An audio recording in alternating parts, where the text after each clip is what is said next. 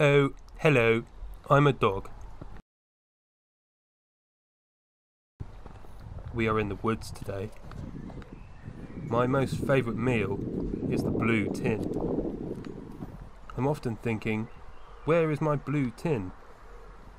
So, one day last week, I was pleased to discover a whole new collection of the blue tin. Sometimes I am fed chicken, occasionally I get beef, especially if humans are eating beef, but my most favourite is the blue tin. A good meal gives me the opportunity to chase more squirrels.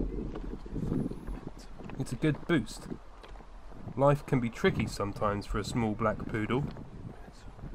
Balancing being cute with watching over the garden and walks.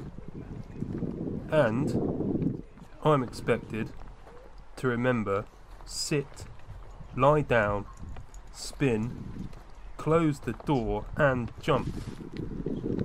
Roll over is also one, but I'm good at that. Anyway, that's my poodle story for today. Speak to you next time.